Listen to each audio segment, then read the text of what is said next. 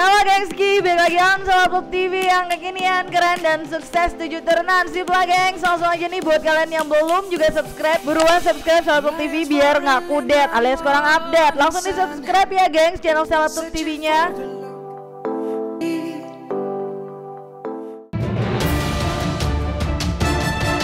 Salatul TV mau kasih video berita dari Hilda yang saat sidang dengan agenda pembuktian dari pihak Krisata disuguhi bukti akte kelahiran asli milik Hilda, gengs, oleh Krisata. Nah, mengetahui bukti yang diberikan Krisata untuk dirinya, rupanya Hilda punya jawaban sendiri nih, gengs.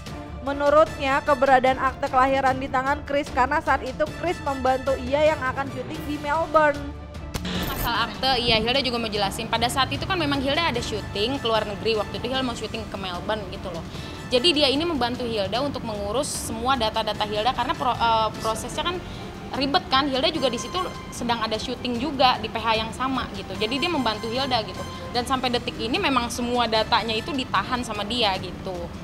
Ya udah seperti itulah. Tapi berarti akte transfer itu benar juga nggak sih? Atau dengan alat kecantikan nggak ada.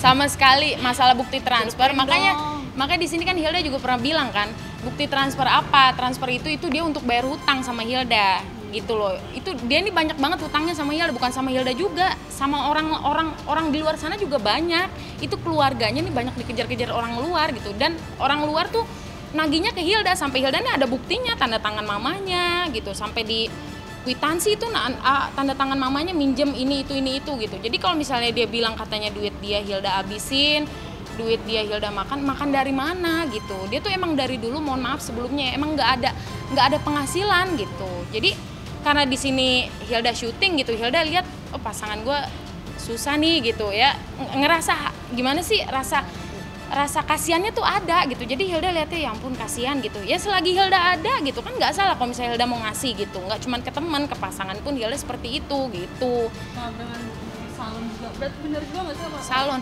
Oh, ya ampun kwitansi perawatan. Kwitansi gigi. Ya Allah itu itu gue pakai duit gue sendiri. Malah dia nebeng kan? Malah dia nebeng buat scaling. Gitu loh mbak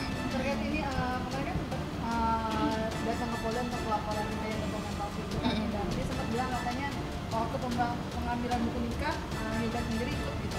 Ah ikut dari oh, mana?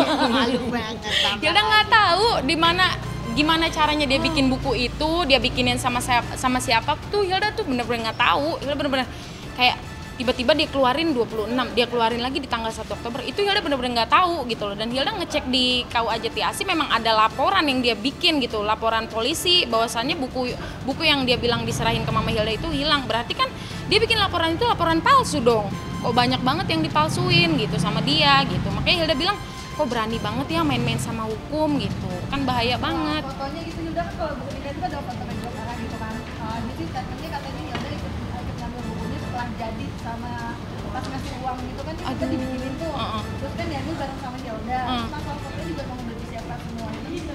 Ya Allah, Hilda sama sekali nggak tahu soal buku itu, apalagi soal dia bikin kayak gitu Hilda nggak tahu.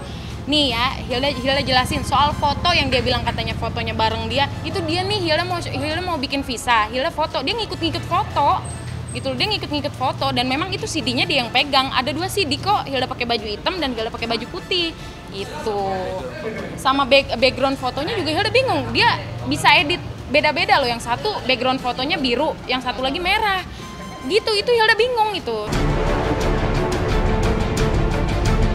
Waduh, ternyata yang sebelumnya Krisata bilang kalau Hilda mengetahui pembuatan buku nikah lantaran ikut mengambil bersama waktu ambil buku nikahnya. Disangkal sama Hilda, gengs. Dan soal akte kelahiran yang dibawa Kris sebagai bukti, menurut Hilda itu karena dibantu Kris untuk keperluannya yang akan pergi ke luar negeri. Makanya ada di tangan Chris. Hmm, kalau dari kalian gimana nih gengs? Dari apa yang sudah dijelaskan Hilda, isi di kolom komen dan tunggu video kece lainnya only on Selatup TV. Bye-bye. Jangan lupa saksikan saksikan saksikan Selebtube Selebtube TV Selebtube TV di YouTube dan jangan lupa juga di, di komen, di like, di share, share. dan juga subscribe.